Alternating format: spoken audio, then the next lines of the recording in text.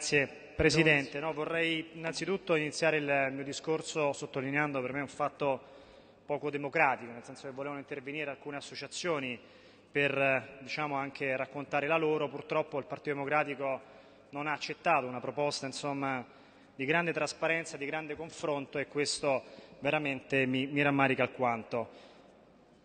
Iniziamo da, da lontano perché se dobbiamo parlare di Muratella dobbiamo parlare del passato, non possiamo parlare soltanto del presente o del futuro, ma dobbiamo capire perché oggi siamo qui a parlare di questo tema. Io vorrei eh, prendere spunto dalla delibera eh, a firma del dottor Cantone da parte dell'autorità nazionale dell'anticorruzione che ha stilato una relazione puntuale della gestione passata del canile della Muratella. I comuni, qualora non gestiscano direttamente il servizio di canile, non possono affidare il servizio in forma diretta, dovendo offrire la possibilità di partecipare a tutti gli operatori economici attraverso un bando di gara.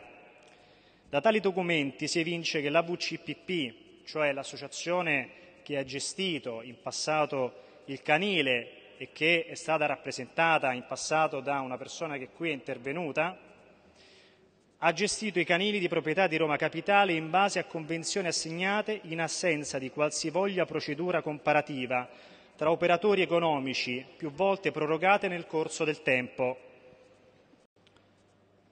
Per circa otto anni il Comune ha posto in essere una serie di proroghe, rinnovi dell'affidamento alla VCPP, stipulando con la stessa altre convenzioni che sostanzialmente riproducono il contenuto della convenzione originaria, con affidamenti diretti in assenza di confronto competitivo con altre associa associazioni.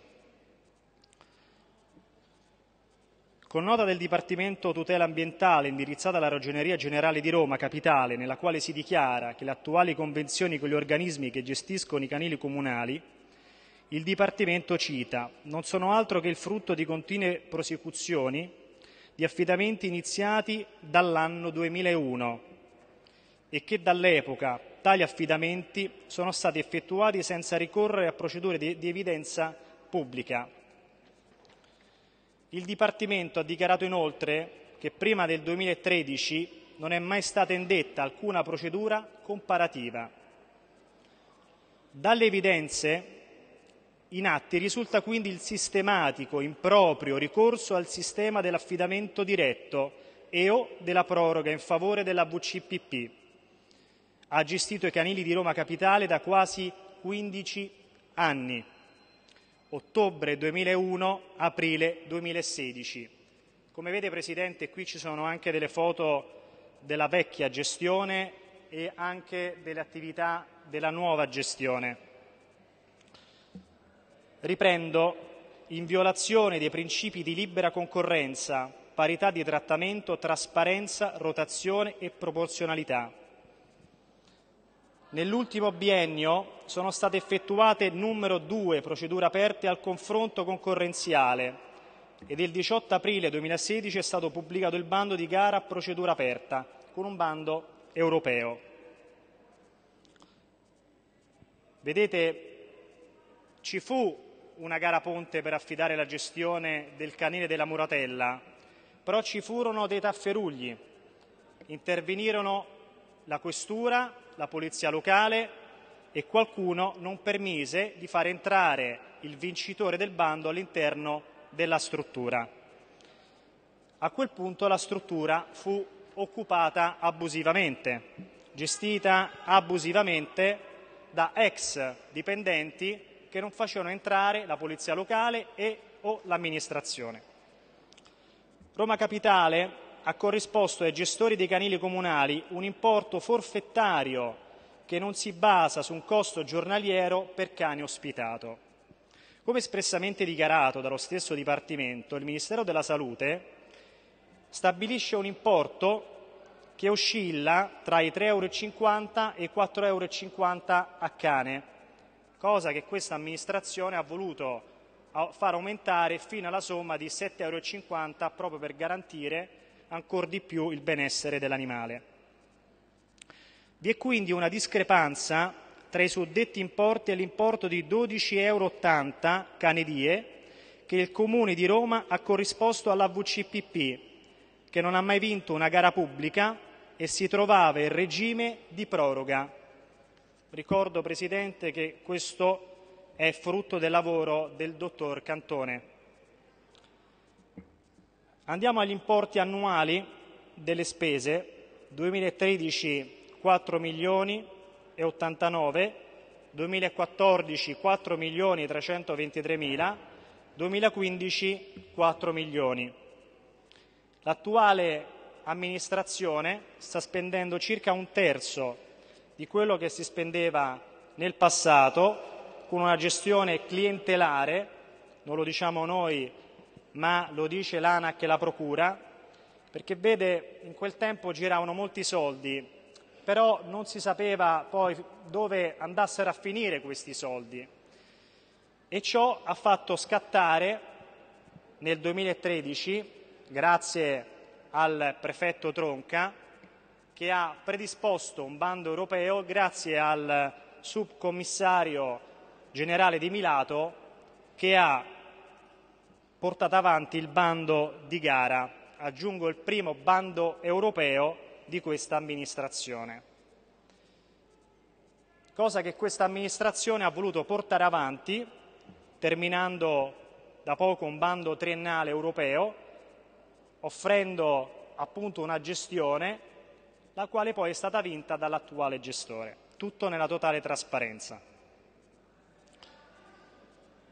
L'ANAC delibera l'affidamento della gestione dei canili rifugio e delle osi feline di proprietà di Roma Capitale nel periodo di riferimento non è stato conforme ai principi di efficacia, imparzialità, parità di trattamento, trasparenza e proporzionalità sanciti dall'articolo 27 del decreto legislativo 163 del 2006 e dal principio generale di rotazione tra gli operatori economici e ai principi di cui all'articolo 2, comma 1 del decreto legislativo 163 del 2006, a mente del quale l'esecuzione dei servizi pubblici deve avvenire nel rispetto dei principi di economicità, efficacia, tempestività e correttezza, ai principi di buon andamento e di imparzialità dell'attività amministrativa, al principio di economicità della gestione delle risorse economiche pubbliche, perché vi ricordo che venivano gestiti con fondi dei cittadini. Si rileva la carenza di un'adeguata programmazione nelle attività di affidamento dei servizi del canile. Tutto questo fu scritto con una relazione dal dottor Cantone il 13 luglio del 2016.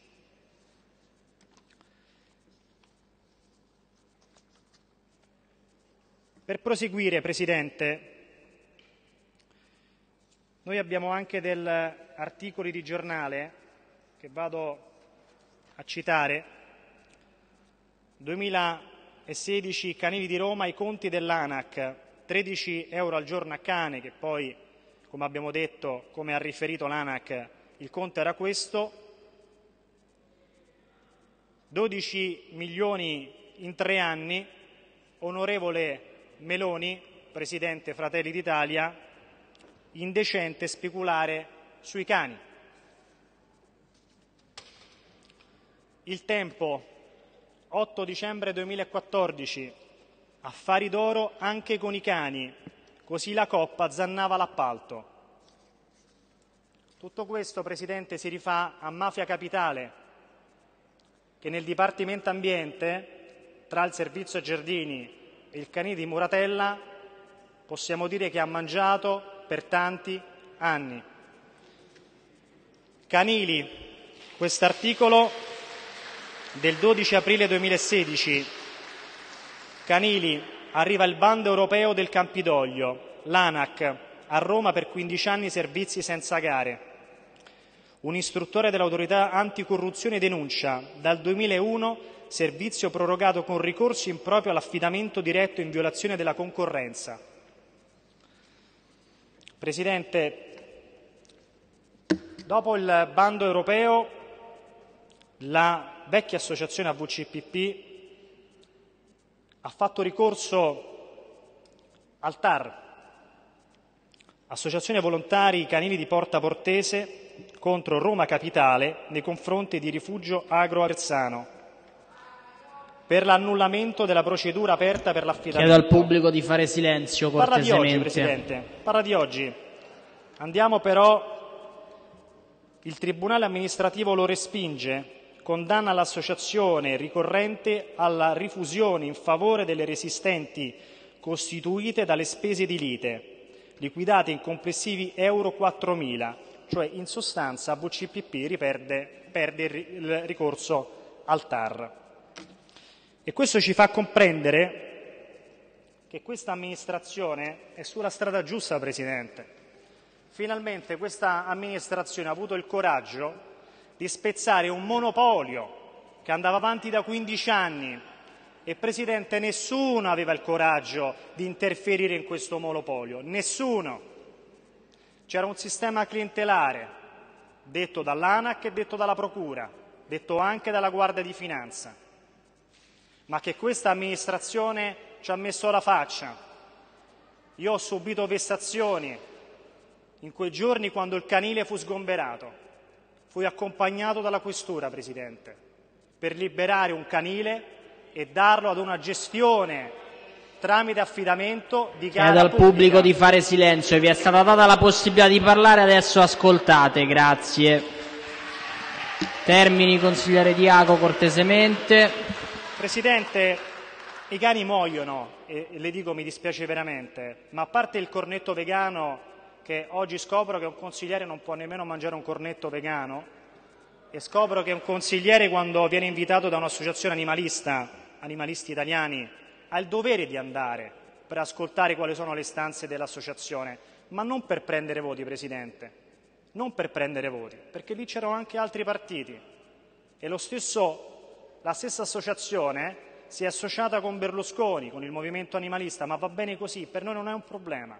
Però queste parole della dottoressa Bignani sono inaccettabili. I cani morivano anche prima e lo dico con una nota del 2012. Attenzione, la nota riversa, riveste carattere di massima urgenza, oggetto blocco di entrate presso il canile comunale della Muratella. La presente per comunicare che da alcune note pervenute a questo ufficio dall'associazione AVCPP in merito alle condizioni di salute di molti cani ospitati presso il canile comunale di Muratella che si presentano allarmanti, si presentano allarmanti. Infatti sono stati individuati molti soggetti con prognosi infettiva di forma virale cimurro, che oggi, grazie a Dio, questa patologia e questa eh, problematica non c'è, e di gastroenterite. Tali soggetti segnalati dai medici veterinari dell'ASL Roma D sono stati, al fi- sono stati trasferiti presso cliniche private convenzionate con Roma Capitale, sempre con affidamenti diretti, sempre con soldi pubblici. Al fine di evitare ulteriori danni derivanti dai cani eventualmente infetti che potrebbero contagiare i nuovi arrivati, si chiede agli enti in indirizzo di limitare per quanto possibile gli ingressi al canile della Muratella.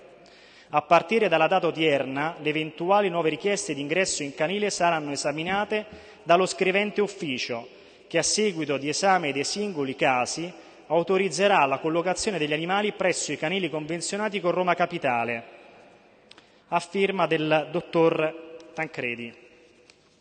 E le dico che in quel momento, anno 2012, per i motivi della gastroenterite e del cimurro, morirono a gennaio un cane, a marzo 2, a maggio 1, a luglio 3, ad agosto 1, a settembre 3, a ottobre 9, a novembre 5. Il totale Consigliere, 25 le chiedo cani per questa a concludere cortesemente. Sì, le faccio vedere l'ultima chicca, Presidente, per far vedere queste associazioni che hanno parlato qui. Non tutte, non tutte, perché qualcuna era autorevole, però forse io spero che venga martedì quando si discuterà la delibera contro le botticelle e voglio vedere i partiti che la voteranno a favore. Questo veramente lo vorrei tanto vedere.